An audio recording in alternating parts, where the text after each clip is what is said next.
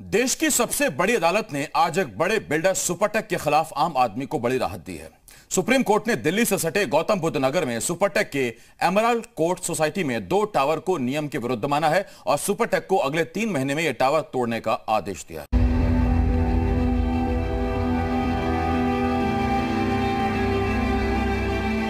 तो जो इस बिल्डिंग के सामने हमारे दो टॉवर्स आए हैं they were truly affected builder ने रॉन्ग वे में इसको बनाया इलीगल वे में बनाया। आप इसमें किसी तरह के और एडिशन करते हैं तो it will be a big stress on the facilities available आँखों में चमक चेहरे पर जीत की खुशी।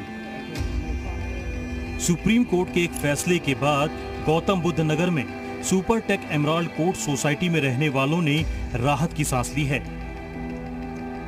सुप्रीम कोर्ट ने सोसाइटी के दो टावर को नियमों के खिलाफ माना है। 42 मंजिला इन टावर्स में 950 फ्लैट हैं। सुप्रीम कोर्ट ने कहा कि जब नक्शा पास हुआ था, तब इन दोनों टावर की मंजूरी नहीं ली गई थी। बाद में नियमों का उल्लंघन कर ये टावर बनाए गए और अब सुपरटेक को अपने पैसे से दोनों टावर गिराने होंगे। साथ ही साथ आर को दो करोड़ का हर्जाना भी मिलेगा। टावर तीन महीने में तोड़ने होंगे। और सुपरटेक को, फ्लैट मालिकों को दो महीने में ब्याज के साथ पैसे भी चुकाने होंगे। दरअसल नोएडा प्राधिकरण ने 2006 में सुपरटेक को लगभग सत्तर हज़ार वर्ग मीटर ज़मीन सेक्टर तिरानवे ए में आवंटित की थी। इस सेक्टर में Emerald Court group housing project के तहत 15 टावरों का निर्माण किया गया था। लेकिन बाद में बिल्डर ने रिवाइज्ड प्लान जमा कराया। और दो नए टावर्स का निर्माण शुरू कर दिया।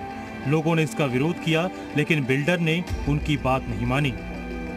हमने उनको जब शुरू भी किया, उसके बाद हमने बहुत उनके साथ डॉलर किए कि रोक दीजिए, लेकिन नहीं रुके। जब हमारी हालात इतने सर से पानी बह गया, फिर हम लोगों ने आरडब्ल्यू की तरफ़ से केस फ़ाइल किया। आरडब्ल्यू की आपत्ति के बाद इलाहाबाद हाई कोर्ट ने भी अप्रैल 2014 में दोनों टावर्स को गिराने का आदेश दिया था, लेकिन मामला सुप्रीम कोर्ट तक पहुँच गया और अब सुप्रीम कोर्ट के फैसले के बाद एक बार फिर बिल्डर को बड़ा झटका लगा है।